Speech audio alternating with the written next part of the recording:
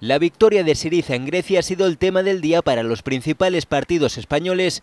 Podemos ha sido uno de los que más se ha alegrado de la noticia y es que esperan que comiencen a cambiar las cosas en Europa. Pensamos que es una buena noticia para el sur de Europa que se abra paso un nuevo europeísmo, un nuevo europeísmo que va a demostrar que la austeridad no ha servido, que va a demostrar que la soberanía debe estar en la gente, que la soberanía tiene que ser nacional y popular. También Izquierda Unida y Guanyen se han mostrado satisfechos con la victoria.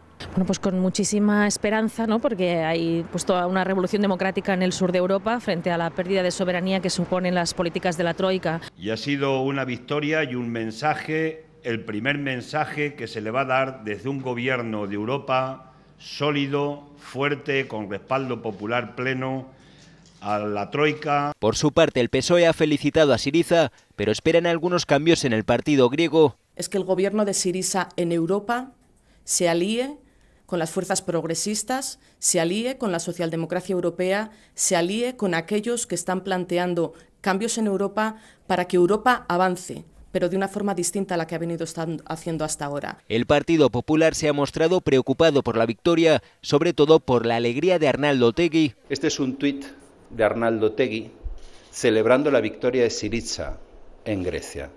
Dice que Siriza es, eh, bueno, un arma de seducción masiva y termina su comentario en el blog con un Gora Siriza. Bueno, pues déjenme que les diga claramente, si Arnaldo Tegui está feliz de que gane Siriza, no podemos estarlo los españoles. Pons también ha advertido al PSOE que si fracasa el centro ganan los extremos.